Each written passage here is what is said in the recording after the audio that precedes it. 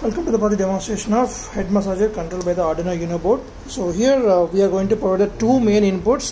One is for the timer and one is for the speed and start switch. So based on the selections, when we press the uh, start switch, so the head massager will be started moving. So with the help of this DC motor, we are going to convert the uh, like uh, rotation motion to the linear motion. This is nothing but uh, reciprocating. So we're going to convert that rotation motion to the linear motion, to and from motion. So with the help of this PMDC motor. So we attach this PMDC motor to our Uno board, which is placed inside this box through the L298 motor driver. So from that motor driver, we are going to control the speed of this DC motor along with direction also. So we set for the one direction and we can change the speed with the help of this potentiometer and we can set the time. So till 8.5 minutes, we can on this massager and uh, the minimum is 0 1 2 seconds. So before switching on the switch, we need to make the connections. So this is the disconnect from this massager and we need to connect place in this mount only. Okay? This is the massager uh, connection and the next power supply from this adapter. So give the 12 volts power supply to this and on the system.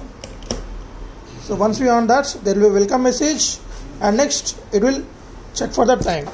And also speed so the remaining time will be displayed over here running time nothing but. So 0 this is for the time. So we can set up to 5 11 seconds. So let's place for 20 seconds.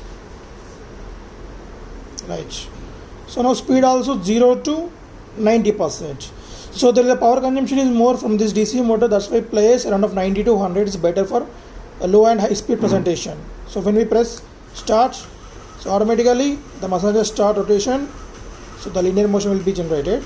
So we can see that the running time is 6 seconds remaining time will running time is completed 10 seconds. Right. See you can see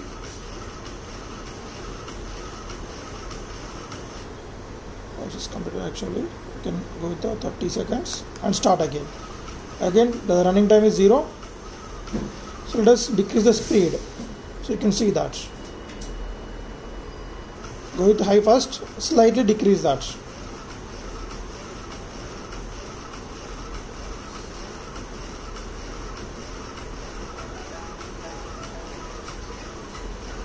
So you can see that the motor speed is decreased and high speed. Right.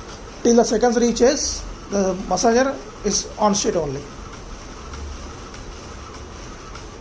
Right.